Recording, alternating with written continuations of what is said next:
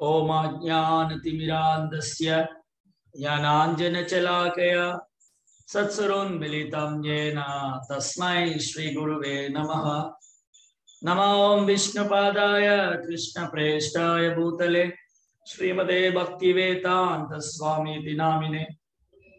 नमस्ते सारस्वती देवे गौरवाणि प्रचारिणे निर्विशेष शून्यवादी पाश्चात्य देशतारिणे जय श्री कृष्ण चैतन्य प्रभु नित्यानंद श्री अद्वैत गदाधर श्रीवासदि गौर भक्त वृंद हरे कृष्णा हरे कृष्णा कृष्णा कृष्णा हरे हरे हरे राम हरे राम राम राम हरे हरे ஹரே கிருஷ்ணா பக்தர்கள் அனைவருக்கும் இனிமையான காலை வணக்கம் இன்றைய பாகவத சத்சங்க வகுப்புல வந்து கலந்துருக்கிற எல்லா பக்தர்களுக்கும் என்னுடைய பணிவான நமஸ்காரம். இன்று ஸ்ரீமத் பாகவதத்தில் நாம் படித்த ஸ்லோகம் முதலாம் ஸ்கந்தம் ஆறாம் அத்தியாயத்துல முப்பத்தி மூன்றாவது பதம். நாரத முனிவருக்கும் வியாச மகரிஷிக்கும் இடையே நடந்த உரையாடல். பிரகயத வீரியானி தீர்த்தபாத பாத பிரியாசிரவக அகுதைவமே சீக்கிரம் தர்சனம் யதி சேதசி.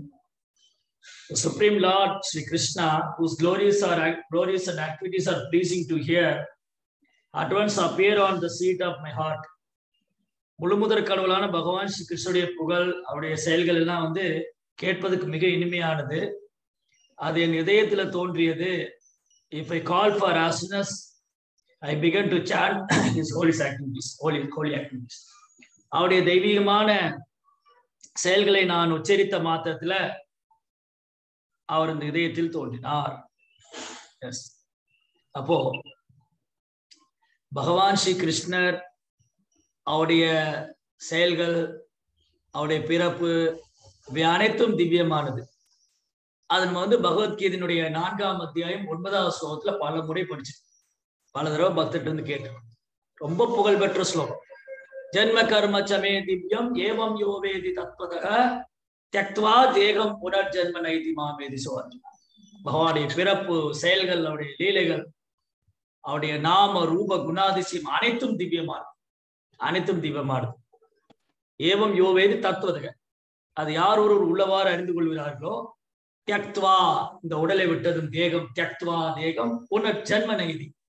அதுக்கப்புறம் மறுபிறவி கிடையாது மாமீதி. என்னை அடைகின்றார்கள் அர்ச்சனா அப்போ அத்துக்கு தெய்வீகமான குணங்கள் உத்தம ஸ்லோக உத்தம ஸ்லோக குணானுவர்ணன். பகவானுடைய லீலைகளை உத்தம ஸ்லோகம் தெய்வீகமான அந்த ஸ்லோகங்களை கொண்டு உச்சரிப்பதனால பக்தர்கள் பேரானந்தம் அடைகின்றனர். பொருளூரில பிரபோ ரொம்ப அழகா சொல்லியிருந்தாரு இந்த ஜட உலகத்துல யாராவது என்ன நினைக்கிறாங்க யாராவது என்னை பத்தி புகழ மாட்டாங்களா என்னை பத்தி பேச மாட்டாங்களா? அப்படிங்கிற ஏக்கம் எல்லாருக்குமே இருக்கு. அவங்க வந்து ஒரு பொது இடத்துல வரும்போது ஒரு சபையில வரும்போது யாராவது என்னை பற்றி புகழ மாட்டார்களா? என்னை பற்றி பேச மாட்டார்களா? அப்படின்னு எதிர்பார்ப்பு. அது வந்து பௌதிகமானது அது சுயநலம் கொண்டது. ஆனா பகவான் கிருஷ்ணருடைய புகழ் அவர் புகழ்வது அவர்கள் அவரை வந்து அவருடைய புகழ் பாடுவது அவரை போற்றி புகழ்வது அது பக்தர்களுக்கு பேரானந்தம் கொடுக்கின்றது பகவானும் அந்த லீலையை அனுபவிக்கின்றார். ஒரு தூய பக்தர் தன்னை புகழ்ந்து பாடும்போது தூய பக்தர்கள் அவரை புகழ்ந்து பாடும்போது அவர் உடனே அங்கு தோன்றிய அந்த பக்தரோட அன்பு பரிமாற்றம் செய்கின்றார். அதுதான் இங்க நடந்தது. நாரதமுனி என்ன சொல்றாரு? பகவானுடைய தெய்வீகமான செயல்களை நான் உச்சரித்த மாத்திரத்துல அவர் அவர் வந்து எல்லாருக்கும் ஆனந்தம் தரக்கூடிய அவருடைய செயல்கள். ஆனந்தம் தரக்கூடிய அவர் செயல்களை கேட்ட மாத்திரத்துல அவரின் இதயத்தில் தோன்றி என்னை ஆசிர்வதித்தார். சோ இப்படி நாரத முனிவர் அந்த அழகான வீணையை கையில் வைத்துக் கொண்டு திரிலோக சஞ்சாரி மூன்று உலகம் பிரயாணம் செய்கிறார் அந்த அழகான வீணையை கையில் வைத்துக் கொண்டு பகவானுடைய நாமத்தை புகழ்ந்து அவருடைய நாம ரூப குணாதிசயங்களை புகழ்ந்து பாடிக்கொண்டு நடனமாடிக்கொண்டு பக்தியின் பரவசத்தில் மூன்று உலகத்தையும் சஞ்சரிக்கிறார். அதனால எப்பவுமே அவர் பகவானுடைய புகழ் பாடிக்கொண்டு நர்த்தனம் செய்து கொண்டு புகழ்ந்து கொண்டிருப்பதால அவர் ஹதயத்தில் எப்பவும் பகவான் தோன்றி அவரை ஆசிர்வதிக்கின்றார். அவர் பகவானுடைய நித்தியமான அன்பு பரிமாற்றம் செய்து கொண்டே இருக்கின்றார். அதனால வைஷ்ணவ ஆச்சாரியர்கள் அவங்க வந்து எப்பவுமே பகவானுடைய லீலைகளை பருகி அந்த அமிர்தத்தில் ஆனந்தம் அடைகின்றனர். ஆத்துக்கு உத்த உன்னதமான ஆனந்தம். அந்த உன்னதமான தெய்வீகமான ஆனந்தம். அது வந்து இது ஜட ஜட உலக ஜட உலகத்துல உள்ள எதுலையுமே ஒப்பிடவே முடியாது. யாராவது தற்பெருமை பேசிக்கிறாங்க இல்ல யாராவது யாரையாவது புகழ்றாங்க அப்படின்னா அதுல எல்லாம் உண்மையான ஆனந்தமே கிடையாது. அது வெறும் பொய் கர்வம் தான். ஃபாஸ்ட் ப்ரைட் பொய் கர்வம் பொய் அகங்காரம் அங்கீகாரம் எதிர்பார்க்கிறது இதெல்லாமே வந்து ஜீவாத்மாவுடைய அறியாமையினால் எனக்குரிய அதுல ஒரு ஆனந்தம் இருக்குன்னு நினைச்சு ஆ இதோ என்னை புகழ்கின்றார். இதோ என்னை அங்கீகாரம் செய்கின்றார். ஆனா உண்மையில ஒரு தூய பக்தர் எப்பவுமே தன்னை புகழ்வதோ தன்னை பாடுவதில் அவர் ஈடுபடுறதில்ல. அவர் எப்பவுமே பகவானை புகழ் பாடுறதில் ஈடுபடுறார். சததம் கீர்த்தை அர்த்தம் அப்ப அந்த உன்னதமான ஆனந்தம் அது வந்து பௌதிகத்துல கிடைக்காது. பகவானுடைய லீலைகளை பாடுவதால தான் கிடைக்கும். அந்த உன்னதமான ஆனந்தத்தை கொடுக்கறதுக்காக தான் அந்த உன்னதமான ஆனந்தத்தை கொடுப்பதற்காக தான் பகவானே பக்தனாக அவதாரம் செய்தார். அந்த அமிர்தத்தை அவரும் அனுபவிக்கிறார் அதை மற்றவருக்கு விநியோகம் செய்கிறார் பகவானுடைய நாம ரூப குணாதிசயங்களை பாடுவதும் நினைவில் கொள்வதும் நடனம் ஆடுவதும் எந்த அளவுக்கு பேரானந்தம் தரக்கூடியது என்பதை அனுபவிப்பதற்காக ஏன் என்னுடைய பக்தர்கள் இவ்வளவு தூரம் என் மேல அன்பு செய்யறாங்க தூய பக்தர்கள் கோபர்கள் கோபிகள் ஸ்ரீமதி ராதாராணி சகிகள் அவங்கெல்லாம் வந்து என் மேல எவ்வளவு ஆனந்தம் அன்பு அனுபவிக்கிறாங்க அப்படின்னா அதுல என்ன இருக்கு? நானும் அனுபவிக்கணும் அந்த சுவையை நானும் அனுபவிக்க வேண்டும். அந்த பக்தியின் பரவச நிலையை நானும் அனுபவிக்க வேண்டும். அந்த ஆனந்தத்தை நானும் அனுபவிக்க வேண்டும் என்று பகவான் அவர் சைதன்ய மகாபிரபு வந்தார். பகவானே பக்தராக வந்து அந்த அமிர்தத்தை பருகுகின்றார். அந்த அமிர்தத்தை விநியோகம் செய்கின்றார். அப்போ ஒருத்தன் தன் சகாக்களோட வந்தார் அந்த சகாக்கள்ல ஒருவர் தான் சனாதன கோஸ்வாமி. நேற்று அவருடைய மறைவு தினமா இருந்ததுனால குரு பூர்ணிமா ஆன்மீக குருடைய முக்கியத்துவம் ஆன்மீக குருவானவர் வியாசருடைய பிரதிநிதியாக இருக்கின்றார். ஆன்மீக குரு வந்து மூன்று வேலை வழிபடப்படக்கூடியவராக இருக்கின்றார். நம் ஆன்மீக வாழ்க்கையின் வெற்றியின் ரகசியமே ஆன்மீக குருடைய திருப்தியில் தான் இருக்கின்றது. அதனால ஆன்மீக குரு பூர்வாச்சாரியின் பிரதிநிதியாக இருக்கின்றார் வியாசரின் பிரதிநிதியாக இருக்கின்றார். அதனால அனுகிரகத்தை வேண்டி பிரார்த்தனை செய்தோம். அதுக்கப்புறம் சனாதன் கோசாமியுடைய மறைவு தினமா இருக்கிறதுனால அவருடைய தெய்வீக நிலைகள் சனாதன கோசாமியின் தெய்வீகமான குணங்கள் அவருக்கும் பகவானுக்குள்ள அன்பு பரிமாற்றம் எந்த அளவுக்கு ஒரு பக்தியில ஒரு உன்னதமான நிலையை வெளிப்படுத்தினாங்க. அப்போ சனாதன் கோஸ்வாமி அவருடைய நேற்றைய வகுப்புல சனாதன் கோஸ்வாமி பாகம் ஒண்ணு யார் சனாதன் கோஸ்வாமி? அவர் எதுக்காக இந்த பூமியில வந்தாங்க? அவருடைய வாழ்க்கை நம்ம கற்றுக் கொடுக்கிற பாடம் என்ன? அப்ப நேற்று வகுப்புல அவருடைய பரம்பரா பூர்வீகம் அவர் எப்படி இந்த பூமியில வந்தாங்க? அதெல்லாம் இது படிச்சுட்டு ராம் கேலியில எந்த மாதிரி ஒரு சூழ்நிலை? அவர் வந்து நவாப் ஹுசேன் நவாப் ஹுசேன் ஷாட்ட வேலை பண்ணிட்டு இருந்தாலும் அவங்க இருக்கக்கூடிய இடத்த ஒரு அழகான பிருந்தாவன சூழ்நிலை உருவாக்கி கொண்டார்கள். அங்க வந்து அவங்க பக்தி தொண்டை பயிற்சி பண்ணாங்க. ராதா மதன் மோகன். அழகான ராதா மதன் கோபால் விக்கிரகத்தை வைத்துக் கொண்டு ரூப கோசாமி சனாதன் கோசாமி அனுப்பமா அவங்க வந்து நவாப்கிட்ட வேலை பார்த்துட்டு இருந்தாலும் அவங்க ரொம்ப அற்புதமா பக்தி பண்ணிட்டு இருந்தாங்க. அவங்க பகவான் லீலையை நடிச்சுட்டே இருந்தாங்க. அவங்க வந்து சைதன்ய மாவுடைய கருணையை வேண்டி காத்துட்டு இருந்தாங்க. ஆயிரத்தி நானூத்தி எண்பத்தி எட்டாம் ஆண்டு ஏறக்குறைய ஐநூறு ஆண்டுகள் ஐநூத்தி இருபது ஆண்டுகள் ஆயிடுச்சு. ஐநூத்தி இருபது ஐநூத்தி முப்பது ஆண்டுகளுக்கு முன்பாக சனாதன் கோஸ்வாமி இந்த பூமியில இருந்தார். அவர் சைத்தன்யம் அப்படியே நித்தியமான சேவகர்கள் சகாக்கள் வருகிறார். அவர் வந்து நம்முடைய சம்பிரதாயத்துல அவருக்கு வந்து சம்பந்த ஆச்சாரியர் ஆன்மீக ஆன்மீக பாதையில மூன்று நிலை. சம்பந்தா அபிதேயா பிரயோஜனா. ஆன்மீக விஷயங்களை பயிற்சி பண்ணும்போது மூன்று விஷயங்கள் நாம் கவனில் கொள்ள வேண்டும். ஒன்று சம்பந்தா. எனக்கும் பகவானுக்கு என்ன சம்பந்தம் இருக்கு? அப்புறம் அபிதேயா. அதை நடைமுறையில் எப்படி பயிற்சி பண்றது? தன் பிரயோஜனம். அவருடைய ரிசல்ட் என்ன? அவருடைய விளைவு என்ன? அப்ப சனாதன கோசாமி நம்முடைய சம்பிரதாயத்துடைய சம்பந்த ஆச்சாரியரா இருக்கு. அதாவது பகவானுக்கு நமக்கு என்ன சம்பந்தம் இருக்கு? அப்படின்னு கற்றுக் கொடுக்கக்கூடிய ஒரு சம்பந்த ஆச்சாரியர். ரூப கோசாமி பிரபுபாதா அதை நடைமுறையில பயிற்சி பண்ணுவதற்கான ஆச்சாரி அபிதய ஆச்சாரி. எனக்கும் பகவானுக்கு என்ன சம்பந்தம் இருக்குன்னு தெரிஞ்சுக்கணும். அதை நடைமுறையில எப்படி பயிற்சி பண்ணணும்னு தெரிஞ்சுக்கணும். அதுக்கப்புறம் பிரயோஜனம் அல்டிமேட் கோல் அந்த பிரயோஜன ஆச்சாரியர் ரகுநாதாஸ் கோஸ்வாமி. ஜீவனுக்கும் பரமனுக்கும் உள்ள உறவு சம்பந்தம் அது ஆண்டான் அடிமை உறவு. பிரபுபார் என்ன சொல்லுவாரு? ஜீவனுக்கும் பரமனுக்கும் பகவானுக்கும் ஜீவாத்மாக்குள்ள உறவு என்னன்னா ஆண்டான் அடிமை உறவு. அவர் எஜமானன் நான் சேவகன். என் கடன் பகவானுக்கு பணி செய்து கிடப்பதே.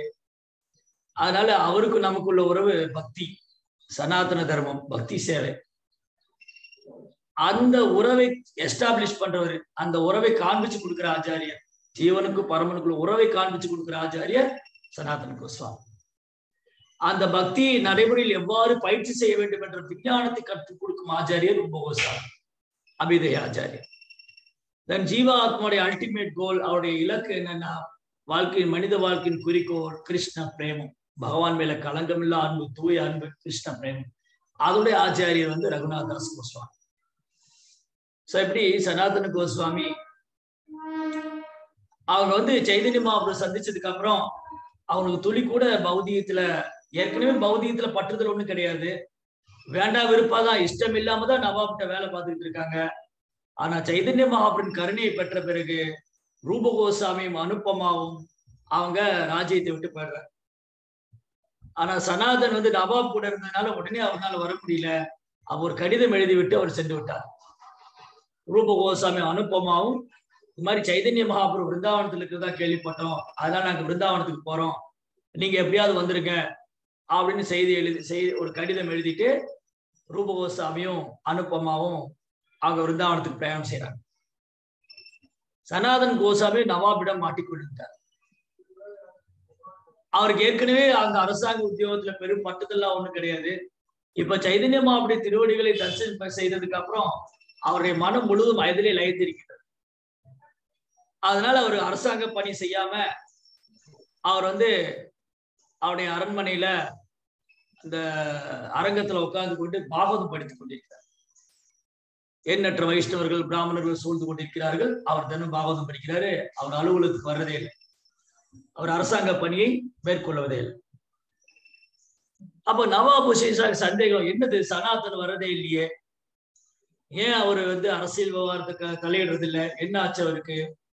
ஒருவேளை அவருக்கு உடல்நிலை சரியில்லாம போயிடுத்தோம் அதனால அரசாங்க மருத்துவரை அணுகி நீங்க போய் அவருக்கு வைத்தியம் பாருங்க. அவருக்கு ஏதோ உடம்பு சரியில்லைன்னு நினைக்கிறேன். அதனாலதான் அவர் அரசாங்க பணி மேற்கொள்ள வரவே இல்லை. மருத்துவரும் அரண்மனைக்கு வந்து பாக்குறாரு அங்க சனாதன் கோஸ்வாமி பாகவதம் வாசிட்டு இருக்க பாகவத லீலைகளை பறி கொண்டிருக்கிறார் அவ மருத்துவர் வந்து சொன்னாரு ஐயா நீங்க நினைக்கிற மாதிரி அவருக்கு உடம்பெல்லாம் சரியில்லாம இல்ல உடம்பெல்லாம் நல்லா தான் இருக்கு. அவர் வந்து சாதுக்களோட உட்காந்து பாகவதம் படிச்சுட்டு இருக்காரு. ஓ. அப்ப நவாபுஷேஷா சனாதன் கோசாமி சந்திக்க வராங்க. என்ன நீங்க இப்படி பண்றீங்க? நான் வந்து உங்களை சகோதரன் மாதிரி நினைச்சுக்கிட்டு இருக்கேன். உங்களுக்கு எல்லா வசதியும் பண்ணி கொடுத்துருக்கேன். நீங்க எனக்கு வேலை பார்க்காம இங்க உட்காந்து நீங்க பாகவதம் படிச்சுட்டு இருக்கீங்க. உங்க சகோதரர் ரூபாவும் அனுப்பமாவும் அவனையும் என் சகோதரர் மாதிரி தான் பாத்துக்கிட்டேன் ஆனா அவங்க என்னை ஏமாத்திட்டு போயிட்டாங்க. ரூபாவும் அனுப்பமாவும் என்னை ஏமாத்திட்டு போயிட்டாங்க. என்னை விட்டு போயிட்டாங்க. சரி நீங்களாவது என் கூட இருக்கீங்க? நீங்களா உதவி செய்யாம நீங்க உட்காந்து இப்படி எல்லாம் பண்ணிக்கிட்டு இருக்கீங்க பாவதம் பண்ணிக்கிறீங்க ஏன் இந்த மாதிரி பண்றீங்க? உங்களுக்கு என்ன குறை வச்சிருக்கேன்னா? அப்ப சனாதன் சொன்னாரு இல்ல இனிமேல் கொண்டு என்னால உங்களோட பிரயாணம் செய்ய முடியாது. எனக்கு இதுல விருப்பம் இல்லை. நான் வந்து இந்த மாதிரி அரசியல் விவகாரத்தில் ஈடுபடுறதுக்கு எனக்கு விருப்பம் இல்லை. அப்படிலாம் சொல்லக்கூடாது நீங்க. நான் இப்ப வந்து ஒரிசாவை தாக்க போக போறேன். ஒரிசா மேல படையெடுத்து போக போறேன். அப்ப நீங்க எனக்கு ஹெல்ப் பண்ணணும் எனக்கு உதவி செய்யணும். நீங்களும் என் கூட வரணும். அரசியல் விவகாரத்தில் ஈடுபடணும். அப்படின்னு சொல்றாரு நவாப். ஆனா சனாதன் சொல்ல இல்ல முடியாது. நான் இனி எந்த அரசியல் விவகாரத்துக்கு வர மாட்டேன் எனக்கு இதுதான். நான் வந்து இந்த பாகவதம் தான் எனக்கு. பாகவதத்தை தவிர எனக்கு வேற எதுல இன்ட்ரெஸ்ட் கிடையாது. அப்ப அவங்க ரெண்டு பேரும் என்னை விட்டு போனாங்க. நீங்க கூட இருந்தே எனக்கு உதவி செய்ய மாட்டேங்கிறீங்க. அப்படின்னு கோவம் வந்து நவாபு ஷின்ஷா சனாதனை சிறைப்படுத்தும் ஜெயில போட்டார். அவரை ஜெயில போடுங்க. சாப்பிட எதுவும் கொடுக்காதீங்க. அவர் தானே என் வழிக்கு வருவார். அப்படின்னு கோபத்துல சனாதனை பிடிச்சி ஜெயில போட்டார். சனாதன் கோசாமி பிடிச்சி ஜெயில போட்டு நவாப் ஹுசேன் ஷா வந்து ஒரிசா அட்டாக் பண்ணும் இப்போ வெளியில இருந்தாவது தப்பிச்சு போகலாம் ஜெயிலுக்குள்ள மாட்டிக்கிட்டாரு. சனாதன் வந்து ஜெயிலுக்குள்ள மாட்டிக்கிட்டார். அப்போ ரூபகோசாமி கடிதம் அவர் கையில இருந்தது அவர் ஞாபகம் வந்து ரூபகோசாமி தான் இதுவரைக்கும் சேர்த்த செல்வத்துல ஒரு பாகம். பத்தாயிரம் தங்க நாணயங்களை வந்து ஒரு வங்காள வியாபாரிட்டு கொடுத்து வச்சிருக்கார். அது வந்து எப்படியா சனாதனுக்கு பயன்படுங்கிறது அவர் முன்கூட்டி அறிந்திருந்தார். அவரால் என்ன பண்ணாங்க? அத வந்து அந்த கடிதத்துல மென்ஷன் பண்ணிருக்கு. அப்ப சனாதன் வந்து அந்த காவலாளி டோர் கீப்பர் அந்த ஜெயிலுக்குள்ள காவலாளி இருக்காரு அவர்கிட்ட பேசுறாங்க. நீங்க ஒரு நல்ல ஆன்மீகவாதி. நீங்க வந்து அஞ்சு வேளை தொழுவுறீங்க. குதா மேல ரொம்ப ஈடுபாடா இருக்கீங்க. நானும் ஒரு முசல்மானு. நானும் தொழுக பண்றேன். குதா மேல எனக்கும் ஆன்மீகத்துல ஆர்வம் இருக்கு. அதனால ஒரு முசல்மானுக்கு இன்னொரு முசல்மான் உதவி செய்யறதா சிறந்தது. எனக்கு வந்து மக்காவுக்கு போகணும் ரொம்ப ஆசையா இருக்கு. நான் மக்காவுக்கு போகணும். என்னை எப்படியாவது விடுதலை பண்ணிடு. என்னை விட்டுடு நீ. நான் உனக்கு அஞ்சாயிரம் தங்க நாணயம் கொடுக்குறேன். நான் அவனுக்கு ரொம்ப டிப்ளமேட்டிக்கா ஏன்னா சனாதன் கோஸ்வாமி அரசியல் விவகாரத்தில் ஈடுபட்டதுனால யார்கிட்ட எப்படி பேசணும் நல்லா தெரிஞ்சிருக்கேன் அதெல்லாம் ரொம்ப டிப்ளமேட்டிக்கா அரசு அரசு ராஜதந்திரம் பற்றி பேசுறாங்க. ஒரு ராஜதந்திரி போல பேசினாங்க. நான் உனக்கு ஐயாயிரம் பொற்காசு தருகிறேன். நீ என்னை விட்டுடு. நான் வந்து மக்காவுக்கு போறேன். ஒரு முசல்மான் மக்காவுக்கு போறதுக்கு உதவுறது பெரும் பாக்கியம். குதா உன்னை ஆசிர்வதிப்பார். அப்படி செய்யலாம் நீ பாவம் செய்கின்றாய். ஒரு முசல்மான் மக்காவுக்கு போவதுக்கு நீ உதவி செய்யவில்லை என்றால் நீ பாவம் புரிகின்றாய். அப்ப அந்த அந்த காவலாளி சொன்னாரு ஐயா நான் உன்னை விட்டுடுவேன். நவாப் கேட்டா என்ன சொல்லுவேன்? நவாப் வந்து சனாதன் கேட்டா நான் என்ன சொல்லுவேன்? அவர் என்னை கொன்று விடுவார். அதனால உங்களை விட மாட்டேன். அவர் கொஞ்ச நேரம் கழிச்சு சனாதன் சொல்றாரு நான் உனக்கு ஏழாயிரம் இன்னும் ரெண்டாயிரம் கோல்டு காயின் கொடுக்குறேன். ஏழாயிரம் தங்க நாணயம் கொடுக்குறேன். பணம் பத்தும் செய்யும் பணம் பாதாளம் வரி பாயும். உனக்கு ஏழாயிரம் தங்க நாணயம் கொடுக்குறேன் ஓ ஏழாயிரம் தங்க நாணயமா? சரி நான் உங்களை விட்டுடுறேன். நவாப் கேட்டா என்ன சொல்றது? நவாப் கேட்டா சொல்லுங்க. அவர் வந்து ஸ்டமக் ப்ராப்ளம் வயிறு கோளாறாகி அவர் வந்து மலம் கழிக்க போனாரு. போனவர் கங்கையில குதிச்சிட்டாரு. அதுக்கப்புறம் என்னன்னு தெரியல. அப்படி சொல்லிருங்க. சரி ஓகே. ஏழாயிரம் பொற்காசுகளை அந்த வங்காள கடைக்காரர்கிட்ட வாங்கிக்கோங்க. என்ன விட்டுடுங்க. அப்ப என்ன பண்ணாரு? இந்த காவலாளி சனாதனை விட்டுட்டார். அந்த சனாதனுடைய பேச்சு அந்த காவலாளியோடைய கண்ணிலிருந்து அப்படி கண்ணீர் வந்து தாடியெல்லாம் நினைஞ்சு போச்சு. அந்த அளவுக்கு ஒரு மனம் உருகும்படி பேசிவிட்டார். நான் வந்து உதாவை வழிபட வேண்டும் நான் அக்காவுக்கு செல்ல வேண்டும். நீ ஒரு முசல்மான் தானே. அதான் நீ எனக்கு உதவி செய்ய. அப்படிலாம் சொல்லி அவரை வந்து ராஜா பண்ணி சனாதன் வந்து ரொம்ப சாமர்த்தியமா அந்த சிறையில இருந்து தப்பிச்சுடுற இப்போ முக்கியமான நகர வழி நகரங்கள் வழியா போனா நவாபோடைய படைகள் தேடி கைது செய்திடலாம். அதனால கரடு முரடான காட்டு பாதையில் போற கங்கை கரையை ஒட்டி கரடு முரடான காட்டு பாதையில அவரு வங்காளத்திலிருந்து பிருந்தாவனத்தை நோக்கி பிரயாணம் செய்யறோம். சரியா சாப்பிடல சரியா தூங்கல ஏதேதோ இடத்துல தூங்கி ஏதேதோ இடத்துல படுத்து உடம்பெல்லாம் வந்து தோல்வியாதி ஏற்பட்டு பெரும் வேதனை. ஆனா அதையெல்லாம் சுகமாக ஏற்றுக்கொண்டார். உடம்பெல்லாம் ரணம் அங்கங்க கீழே விழுந்து முள்ளெல்லாம் குத்தி அதுக்கப்புறம் தன்னை சரியா பராமரிச்சு கொள்ளாம ஏதேதோ தண்ணி எல்லாம் குளிச்சு ஏதேதோ குளத்துல எல்லாம் குளிச்சு அவருக்கு வந்து பெரும் வேதனை. ஆனால் அதையெல்லாம் அவர் வந்து அந்த கஷ்டங்கள்லாம் அவர் மகாபுருடைய ஸ்ரீ சைதன்ய மகாபுரின் தாமரை திருவடிகளை நான் அடைக்கலம் பெற போகின்றேன் அப்படிங்கிற பரவசத்துல ஆனந்தத்துல அந்த வேதனைகள்லாம் அவர் வந்து பொறுத்து கொள்கின்றார். நீண்ட தூரம் பிரயாணம் செய்யறாரு அவர் கூட அவருடைய செக்ரட்டரி ஒரு ஈஷானா. ஈசானன்னு ஒரு பக்தர் அவருக்கு காரிய தெரிசியார் அவரும் கூட வர கூட வரும்போது ரொம்ப தூரம் பிரயாணம் பண்ணி கழிச்சு போய் எங்க தங்கலான்னு பார்த்து ஒரு விடுதி அந்த விடுதியில தங்குறதுக்காக அங்க போனாங்க. ஆனா துரதிருஷ்டவசமா அந்த விடுதி விடுதியை நடத்தக்கூடியவன் ஒரு கொ- ஒரு கொள்ளை கூட்டக்காரன் ஒரு கொள்ளை கூட்டக்காரன் அந்த விடுதியை நடத்துகின்றான். அவருடைய நோக்கம் என்னன்னா அந்த வழியில வரவங்கிட்ட எல்லாம் வழிப்பறி செய்ய வேண்டும். அந்த வழிப்பறி செய்து அவர்களை கொன்று விட்டு அவருடைய இருக்கிற உடைமைகளை பறித்துக் கொள்ள வேண்டும். அந்த அந்த விடுதிக்காரன் அந்த ஹோட்டல்காரனுக்கு ஒரு ஜோசியர் இருந்தார் அவர் வந்து கணிச்சு சொல்லுவாரு யாரெல்லாம் இந்த பக்கம் வராங்க? அவங்க எவ்வளவு பணம் எல்லாம் வச்சிருக்காங்க? அவங்களுடைய செல்வம் எல்லாம் என்னங்கிறத மெஷர் பண்ணி சொல்லுவாங்க. அப்ப அந்த ஜோசியர் சொல்றாரு இந்த வழியா ரெண்டு பேர் வருவாங்க அவங்க நிறைய தங்க நாணயம் வச்சிருக்காங்க. அதே மாதிரி சனாதன் வந்தாங்க நாங்க இன்னைக்கு இரவு இங்க ஓய்வு எடுக்கணும். காலையில எங்களுக்கு வந்து ரிலீஸ் பண்ணி விடுங்க நாங்க போறோம். உங்க ரூம்ல நாங்க தங்கிக்கிறோம். ஆஹ் தாராளமா தங்கிக்கலாம். அவர் வந்து பார்த்தா முன்ன பின்ன தெரியவே செய்யாது. அந்த விடுதிக்காரனுக்கு சனாதன் கோசாமி முன்னப்பிட தெரியாது. ஆனா பயங்கரமான ராஜ உபச்சாரமே உட்காருங்க நீங்க என்ன சாப்பிடுறீங்க? உங்களுக்கு என்ன வேணும்? அப்படி உபச்சாரம் சனாதன் கோஸ்வாமி வந்து ஏற்கனவே அரசியல் விவகாரத்தில் ஈடுபட்டவரு. முன்பின் தெரியாதவங்க இவ்வளவு உபச்சாரணை பண்றாங்கன்னா அதுக்கு ஏதோ ஒரு ஒரு நோக்கம் இருக்கு அதுக்கு பின்னாடி. அப்ப சனாதன் வந்து தன்னுடைய செக்ரட்டரி கேட்டாரு நீ கையில என்ன வச்சிருக்க அவர் என்ன பண்ணிட்டாரு? அந்த காவலாளிக்கு கோல்டு காயின் கொடுத்தது போக மீதி உள்ள கொஞ்சம் கோல்டு காயின் ஒரு கையில வச்சிருக்காரு. தங்க நாணயத்தை கையில வச்சிருக்காரு. அப்ப சனாதனுக்கு புரிஞ்சு போச்சு. இவர் வந்து என் மரணத்தை கூட அழைச்சிட்டு வந்திருக்காரு. இவர் வந்து மரணத்தை கூட அழைச்சிட்டு வர்றாரு. ஏன்னா இந்த காட்டு பகுதியில இந்த தங்க நாணயத்துக்கு ஆசைப்பட்டு இந்த விடுதிக்காரர் என்ன கொல்ல போறாரு.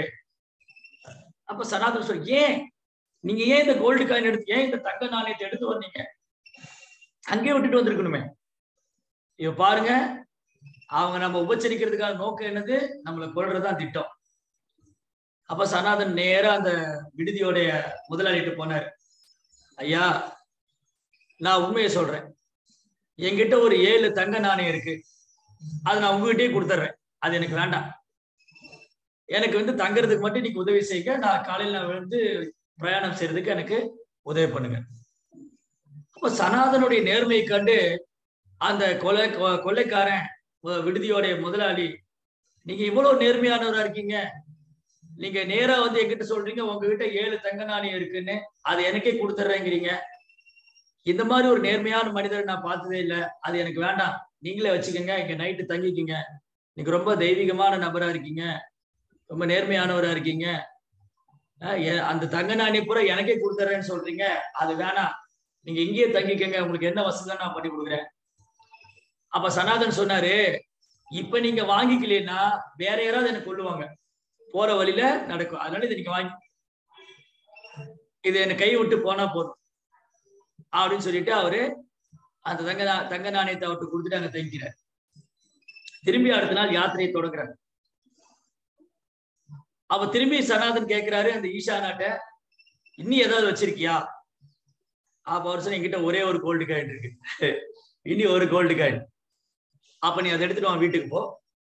நான் வந்து மகாபுருட்ட போய்க்கிறேன். நீ உன் வீட்டுக்கு போகலாம் அப்படின்னு அந்த தங்க நாணயத்தை தன்னுடைய காரியதரிசி கொடுத்து செக்ரட்டரி கொடுத்து திருப்பி வச்சார் நீ வீட்டுக்கு போ. நான் சைத்தன் மாவட்ட திருவடிகளுக்கு போறேன். அப்படின்னு சொல்லிட்டு எதுவுமே இல்லாம கையில ஒரு நயா பைசா கிடையாது. போட்டிருக்கிற வஸ்திரம் மட்டும்தான் இருக்கு. அதுவும் கந்தலான பழைய வஸ்திரம். அப்படியே மகாபடி தாமரை திருவடிகளை தியானம் செய்து கொண்டு ரொம்ப உற்சாகமாக ஆனந்த கூத்தாடி நடனமாடி கொண்டு பேரானந்தத்துல ஹரே கிருஷ்ணா ஹரே கிருஷ்ணா கிருஷ்ண கிருஷ்ணா ஹரே ஹரே ஹரே ராம் ஹரே ராம் ராம் ராம் ஹரே. அவர் மகாபடி திருவடிகளை தரிசிக்கிறது ஆனந்தத்துல. அப்படி ஆனந்தத்துல வந்துட்டு இருக்கும்போது ஹாஜிப்பூர்னு ஒரு கிராமம். அந்த ஹாஜிப்பூர்ல சனாதன் கோசாமியுடைய மருமகன் ஒருத்தர் இருக்கிறார் ஸ்ரீகாந்தா அப்படின்னு. மருமகன். அவர் இந்த மாதிரி சனாதன் கோசாமி இங்க வந்திருக்காருன்னு கேள்விப்பட்டு ஓடி வந்து அவரை வரவேற்கிறார் எவ்வளவு பெரிய ராஜவம்சத்துல வாழ்ந்தவர் எவ்வளவு பெரிய ராஜ வாழ்க்கை வாழ்ந்தவர். அவ்வளவு ஆபரண ஆடம்பரமான வாழ்க்கையில விட்டு இவர் இப்படி ஒரு துறவியை போல பழைய ஆடையை உடுத்து பழைய கிழிச்சு போன ஆடையெல்லாம் போட்டுட்டு எங்க போறீங்க நீங்க?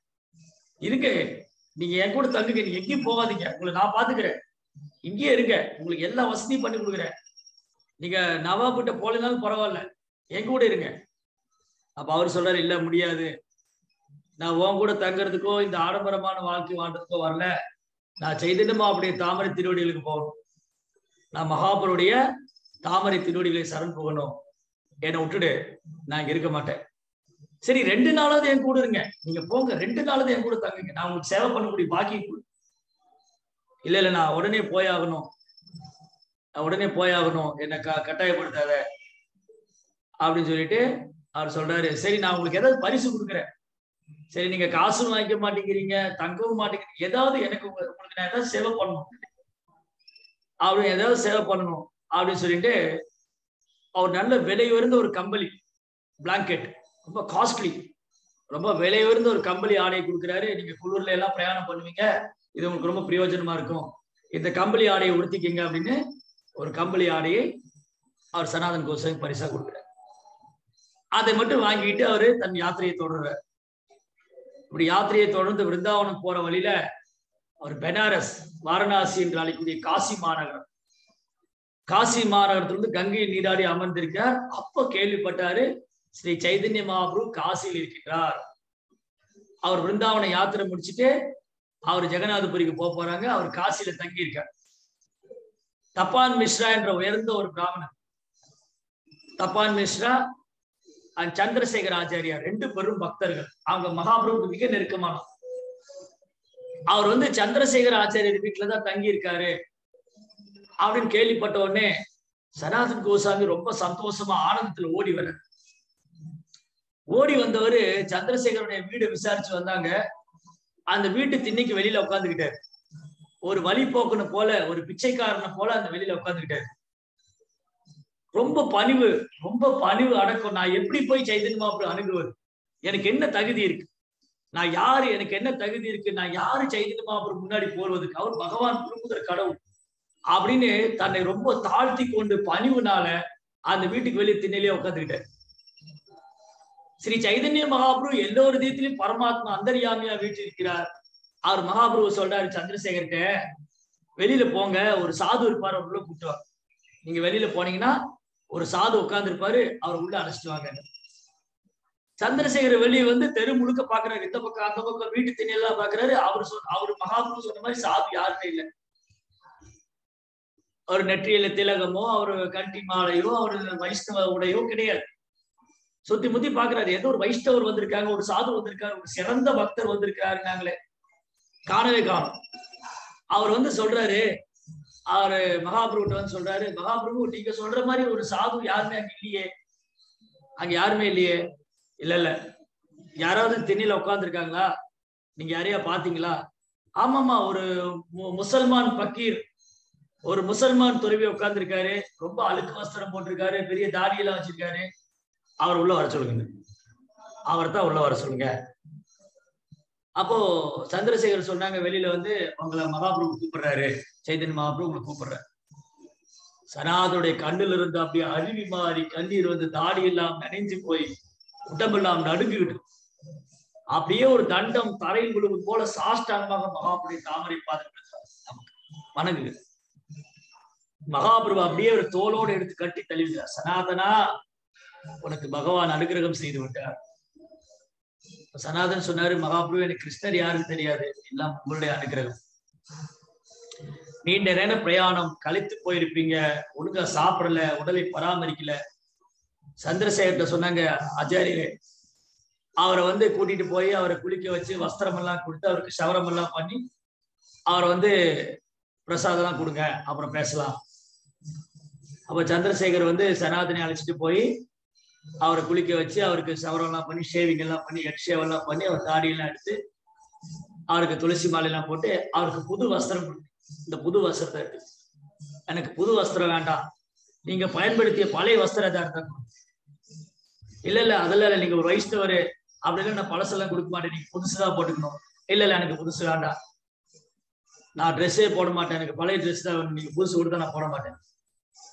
அப்ப அவருடைய பழைய வஸ்திரம் எடுத்து அது இரண்டு மூன்று பாகமா கிழித்து ஒரு பாகத்தை உள்ளாடை அணிந்து கொண்டு ஒரு பாகத்தை வந்து மேலே கட்டி கொண்டு இன்னொரு பாகத்தை அங்க அப்படி வந்து அந்த வஸ்திரங்களை அணிந்து கொண்டார். அணிந்து கொண்டு மிக எளிமையாக பணிவாக அவர் நடிச்சிருந்தா விதவிதமா பலகாரம் சாப்பிடலாம் புது வஸ்திரம் போட்டுக்கலாம். ஏன்னா இது வரைக்கும் டிராவல் பண்ணி ரொம்ப கழிச்சு போய் சரியா சாப்பிடாம தூங்காம ஆடையெல்லாம் கிழிஞ்சு போய் அந்த ஒரு சூழ்நிலையில கூட மகாபரு பிரபு பக்த கணேட வைராக்கிய பிரதானம். வைராக்கியமே பிரதானமானது அந்த ஒரு சூழ்நிலையில கூட அவரு என்ன பண்ணாங்க? அந்த வஸ்திரத்தை பழைய வஸ்திரத்தை அணிந்து கொண்டு அவர் மகாபிரபு முன்னாடி வர்றார். மகாபிரபு முன்னாடி வந்து ரொம்ப பணிவாக பிரார்த்தனை செய்கிறார். ரொம்ப பணிவான பிரார்த்தனை. அவர் மகாபிரபு முன்னாடி வந்து சொல்றாங்க மகாபிரபு கங்கை கரையில வாரணாசியில ரொம்ப அற்புதமான உரையாடல். ஆன்மீக தத்துவம் பக்தியினுடைய விஞ்ஞானத்தை வந்து சைதன்ய மகாபு சனாதன் கோசாமி. ஸ்ரீ சைதன்ய மகாபுருக்கும் சனாதன் கோசாமி நடந்த கான்வர்சேஷன் உரையாடல் வந்து அனைத்து வேதங்களின் சாரம். ஆன்மீக பாதையின் தத்துவங்கள் மிக உன்னதமான தத்துவங்கள். அது எல்லாமே சைத்தன்ய சரிதாமிரத்துல அத்தியாய அத்தியாயமே மிக அழகா வர்ணிச்சிருக்கார் அது வந்து சைத்தன்ய சரிதாமிரத்தை நீங்க மத்திய நிலையில படிக்கலாம். சரி சைத்தன்ய மகாபுருக்கும் சனாதன் கோசாமி நடந்த கான்வர்சேஷன் உரையாடல். அதுல சிலது வந்து நம்ம படிக்க போறோம்.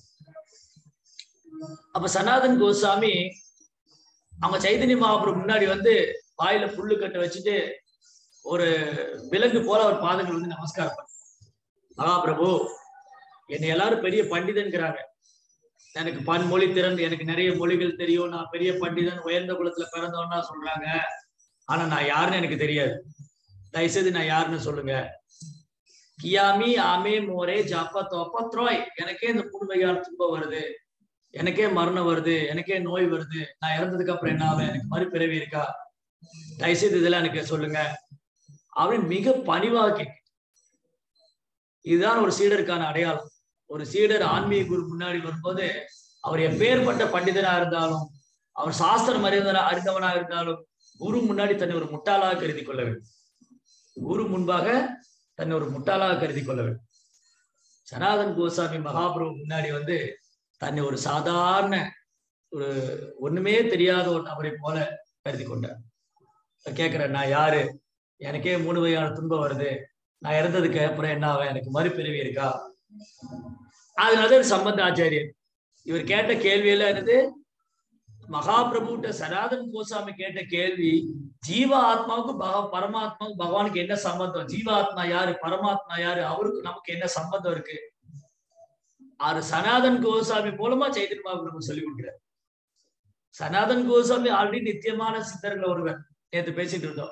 அவர் ஆன்மீக லோகத்துல லவங்க மஞ்சரி ரவி மஞ்சரிங்கிற ஸ்தானத்துல இருந்து சேவை பண்றாரு.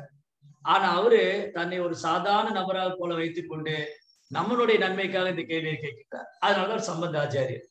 சனாதன் கோஸ்வாமி சார் சம்பந்த ஆச்சாரியர் அவர் இந்த கேள்வி கேட்கிறாங்க என்ன என்ன சொல்லுங்க? நான் யாரு என்னுடைய நிலைமை என்ன? அப்படிலாம் கேட்கிறாங்க மகாபிரபு ரொம்ப அற்புதமா பதில் சொல்றாங்க. அதனால இந்த உரையாடல் வந்து ரொம்ப அழகா இருக்கும். அது கிட்டத்தட்ட இன்னும் ஒரு ஒரு மணி நேரம் ஆகும். அந்த லீலைகள் வந்து சுருக்கமா அதோட எசன்ஸ் சாரங்களை இரண்டு இரண்டு மாதம் வாரணாசியில் கங்கை கரையில் வைத்துக் கொண்டு இரண்டு மாதம் சைதன்ய மகாப்பு சனாதன் கோசாமிக்கு பக்தியின் விஞ்ஞானத்தை கத்துக் கொடுத்து அதெல்லாம் புஸ்தகமா எழுத சொன்னேன் அதனால நம்ம மூன்றாம் பாகத்துல அடுத்து வரக்கூடிய நாளைய சத்சங்கத்துல சைதன்ய மகாபிரபு சனாதன் கோசாமிக்கு என்னென்ன உபதேசம் நல்கினார் சனாதன் கோசாமி என்னென்ன கேள்வி கேட்டார் அதனுடைய முக்கியத்துவம் என்ன அதுல என்னெல்லாம் நடந்தது சனாதன் கோசாமிக்கு சைதன்ய மகாபிரபு என்னென்ன உபதேசங்கள் பண்ணாங்க அது நம் வாழ்க்கையில் எவ்வளவு பெரும் பெரும் துணையாக இருக்கின்றது நம்முடைய ஆன்மீக முன்னேற்றத்திற்கு நம் பக்தியில் முன்னேற்றம் அடைவதற்கு சைதன்ய மகாபிரபு சனாதன் கோசாமி மூலமா நாம் கொடுத்த உபதேசங்கள் என்ன? அது எவ்வாறு நாம் புரிந்து கொள்வது? அதற்கு பிரபுபால் கொடுத்த விளக்கங்கள். அதெல்லாம் நாளைக்கு மூணாவது பாகத்துக்கு நம்ம படிப்போம். அதனால பக்தர்கள் அனைவரும் மூணாவது பாகத்துக்காக வெயிட் பண்ணுங்க. அந்த லீலை என்ன நடந்தது? மகாபிரபு என்னென்ன உபதேசம் பண்ணாங்க? அதுக்கப்புறம் சனாதன் கோசாமி என்ன ஆனாங்க? அதை நீங்க ஆவலாக காத்து கொண்டிருங்கள். அதை மூன்றாம் பாகத்தில் நாம் விவரிப்போம். ஹரே கிருஷ்ணா. ஜெய் சில பிரபாதிக்கு சனாதன் கோஸ்வாமி ராமோத்சவக்கு ஆக்கி கோர் பிரேமானந்த Thanks, Summer.